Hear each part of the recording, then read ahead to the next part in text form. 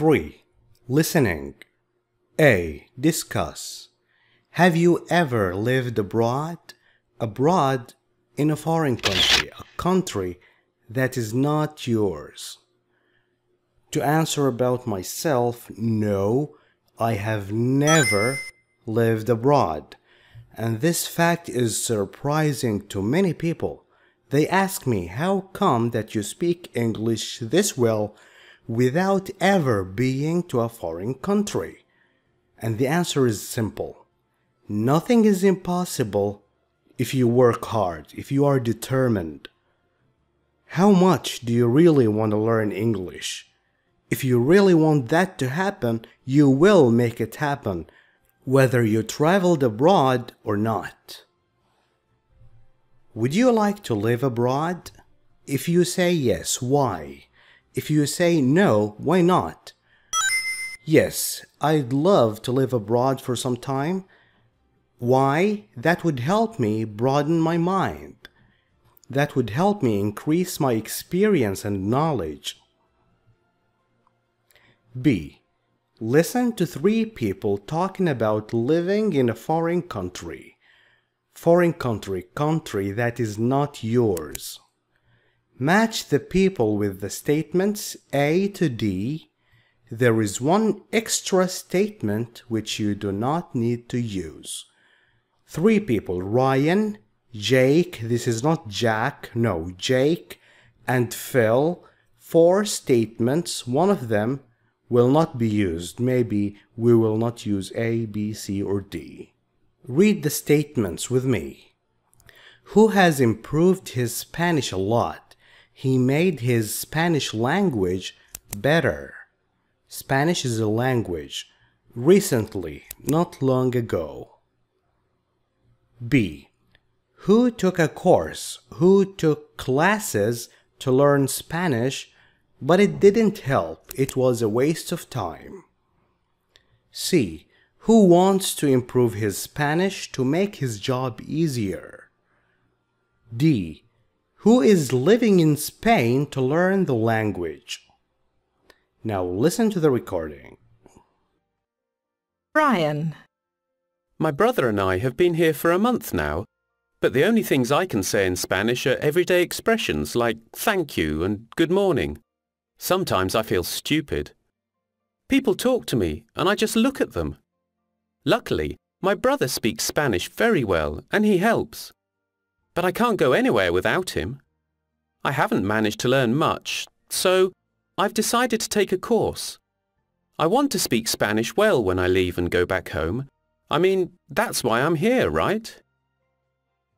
Jake, I've been here since last September. The first few months were very hard for me. I found it difficult to understand the professors, and I didn't speak to my classmates because I was afraid of making mistakes. My flatmate Thomas had the same problem, and we decided to take a course to improve our Spanish. It was a great idea because I've already improved so much that I can read newspapers and books. And I almost never have problems at the university. Phil, It's an amazing experience. I've been abroad before, but only on holiday. I like the people a lot, and I enjoy working as a teacher, but I sometimes have problems with the language. I'm okay when I go out, because I can always find someone who speaks English, but I sometimes have problems at work. Not with my colleagues, they speak English. But when students don't understand something, I can't explain it in their own language. I wanted to take a language course back home, but I didn't, and now I don't have time. Now, can you match the people with the statements? If yes, very good. No, listen to the recording again. There is no reason why you should continue unless you want to check and see if your answers are correct or incorrect. Read the listening transcript with me, Ryan. My brother and I have been here for a month now in Spain but the only things I can say in Spanish are everyday expressions. Expressions are a group of words that together have a particular meaning. Expressions like what? like thank you. In Spanish, they say gracias and good morning. In Spanish, they say buenos dias. Sometimes I feel stupid because I can't say much, only thank you and good morning. People talk to me and I just look at them. I can't reply. Luckily, fortunately, my brother speaks Spanish very well. He's very good. And he helps. But I can't go anywhere without him. He has to come with me anywhere I go. I haven't managed to learn much. I wasn't able to learn much. So I've decided, I've made a choice to take a course, classes. I want to speak Spanish well, in a good way. When I leave and go back home, because he is in Spain now, when he goes back to his home country, maybe he is Saudi or maybe he is British or American, we don't know. I mean, that's why I'm here. I came to Spain to learn Spanish, right? Is Ryan the one who has improved his Spanish? No, his Spanish is terrible. Is he the one who took a course? No, he will take a course. Is he the one who wants to improve his Spanish? To make his job easier? Well, he said nothing about his job. So he is the one living in Spain to learn the language. That's why he is in Spain, right? Jake. I've been here since last September. The first few months were very hard for me, very difficult.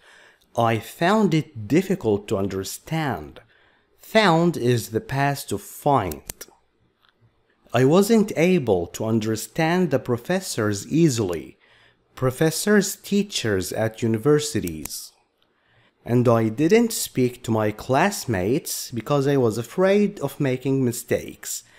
Classmates, students in my class. Why I didn't speak to them? Because I was afraid, I was scared of making mistakes, of saying wrong things.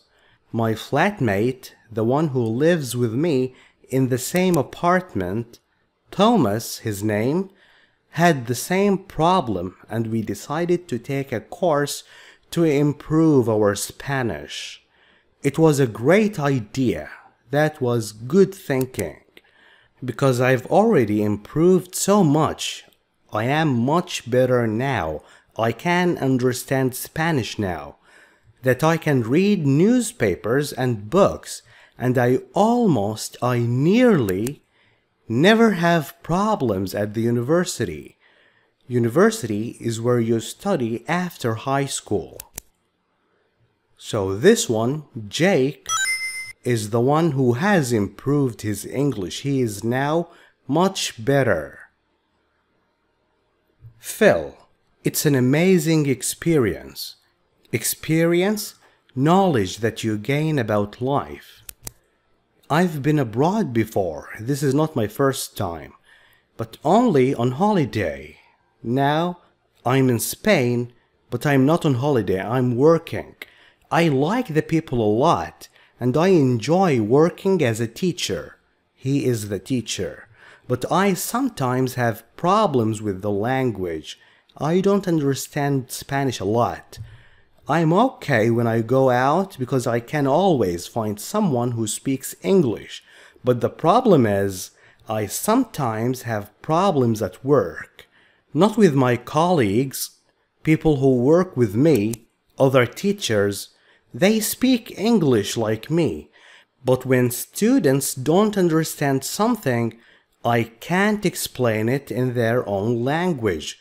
Oh, from this we understand that Phil speaks English as the first language and he is teaching English to Spanish students. And when they don't understand English, he can't explain English in Spanish. I wanted to take a language course back home when he was in Britain or America, but I didn't, and now I am in Spain and I don't have time for courses. He wants to improve his Spanish to make his job easier as an English teacher. Thank you for watching this video. If you like it, share it with friends. I'll see you again next time, inshallah. Goodbye.